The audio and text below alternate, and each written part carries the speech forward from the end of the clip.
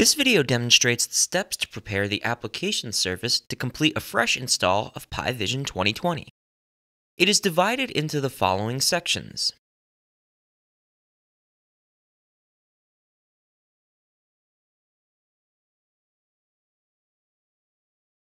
The machine where we will install PI Vision is dedicated to hosting PI Vision. Verify that your machine meets the following hardware requirements based on the number of PI Vision users. Please note, you can use the PI Vision administration website to generate a report that lists the number of users who have accessed PI Vision within a specific time range if you're unsure about your user base. Verify that your machine meets the following software requirements. PI Vision 2020 supports the following versions of PI Data Archive and PI Asset Framework.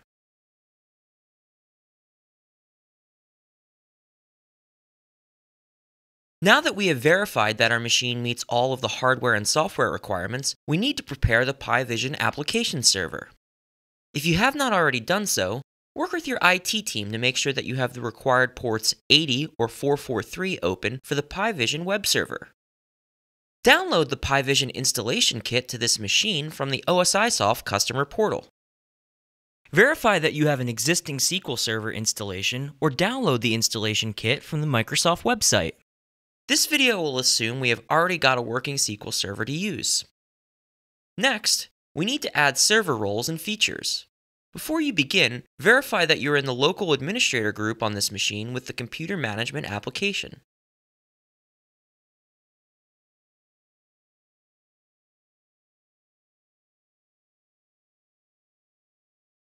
Once you've verified that you have the appropriate permissions, launch Microsoft Server Manager and click Add Roles and Features, and then click Next.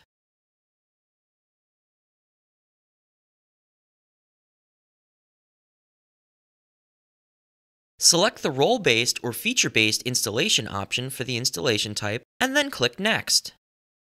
Select the appropriate server from the server pool, and then click Next. On the Server Roles page, select the roles appropriate for your operating system. For the installation on our machine, which is running Windows Server 2016, we have selected the Web Server IIS option. Click Add Features and then click Next. On the Features page, select the Windows Process Activation Service and then select the Process Model and Configuration APIs options. Click Next, and then click Next again. On the Role Services page, under Common HTTP Features, make sure that you have everything checked except WebDAV Publishing.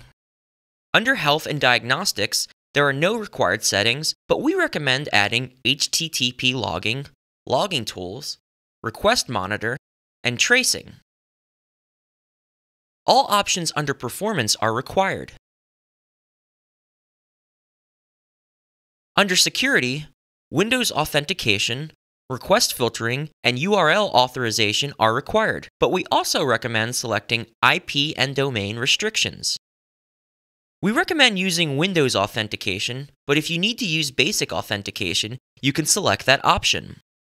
Under Application Development, .NET Extensibility 4.5, 4.6, or 4.7, and ASP.NET 4.5, 4.6, or 4.7 are required. We also recommend selecting ISAPI extensions and ISAPI filters. Under Management Tools, we recommend adding IIS Management Console, IIS Management Scripts and Tools, and Management Service as well. Once you have made all of your selections, click Next. Then, click Install on the confirmation page. Please note, this process will take some time. We have significantly increased the speed during this section. If your installation was successful, you will see this note under the progress bar. Click the Close button.